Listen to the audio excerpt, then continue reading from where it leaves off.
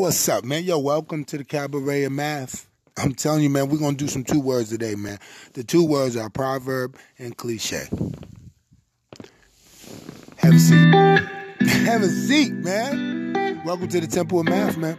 We're only dealing with math for him, man. Listen, two words are proverb and cliche. Okay, how about this? A short saying in general use, stating a general fact, a de facto, meaning not true but known to be as truthful a proverb, cliche, an opinionated phrase that is overused and betrays a lack of original thought. Praise Jesus, y'all. Somebody agree with me.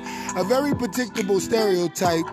Um, our cliches are tight. You know what I'm saying? Left, right, wrong. Ding, ding, dong. Nobody knows the real words to the song because there ain't no notes, y'all. Math is all upright, unblemished, perfect, tall. No cliche or proverbs at all. Read all, read all. It's real. You know what I'm saying? Diamond weak compared to God's steel. Chief say, the celestial head in charge of everything, fathomable. Chief cornerstone, Ephesians 220. But my own uh, church, you understand me? And it's also the chief acronym, man. Calculate how idols eclipse facts. Chief math. Revelations 13, 18. No biblical, poetical. Because this cabaret houses intellectual evolvists of facts. Another chief acronym, folks. I mean, I'm adding. No cliche, no proverb. My Genesis, my Exodus, my Numbers, my righteous law of my Deuteronomy. I'm the judge of my chronicles, my psalms, my closed palms, my song of all my songs that I give in poem and poet and poetic.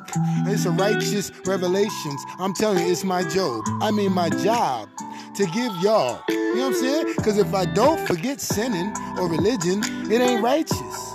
First Peter 4:10. If you got an Elohim given gift, you must share it, not sell it. But I know you still gotta eat.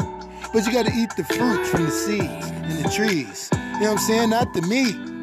I mean, it says it in the B I B L E. Did you read it? Behold, this evil, meaning particular people, came down from the Lord.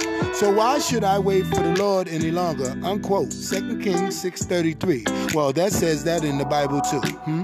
Hence, be righteous. Exclamation point, period. Because being uh, religious and to uh, truly accept the Lord Jesus Christ, Yahweh, Jehovah, will get you indicted for some real all. Real, all oh, some real evil shit, man. Infa, Matra, Sui, Patra, and genocide. Lying to the Dorothy's and the Totos. Theft by deception, hired murder. I'm cool. I'll just be little old righteous me with my big lips and the real or the real right from wrong intelligence, man. Welcome to the cabaret of common sense, people. Come on, man. Yo, I'm trying to tell you, Doc. Yo, you better be righteous. Because religion's gonna get you in prison. You hear me? Sacrifice children. Kill this and you gonna be rich squash him and you're gonna be rich. Man, you better be righteous. Or you gonna do this again. Ain't no fire, y'all. He was made of fire.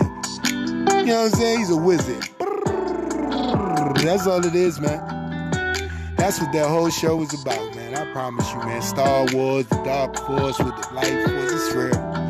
It's real, man. Welcome to the Cabaret of Truth, man. The drinks are on the house, man. I'm trying to tell you, the drinks are on the house. Peace, creation, man.